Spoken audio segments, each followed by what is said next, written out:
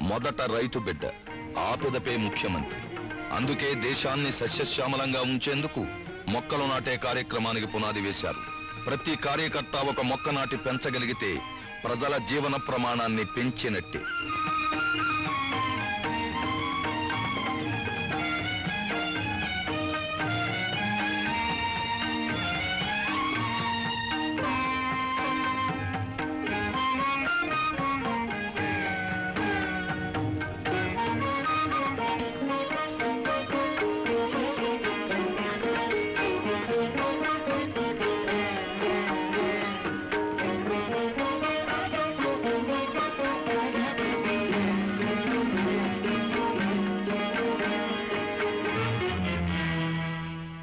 చిన్నారి పాపలే మన నాయకుడికి ఆశాకిరణాలు.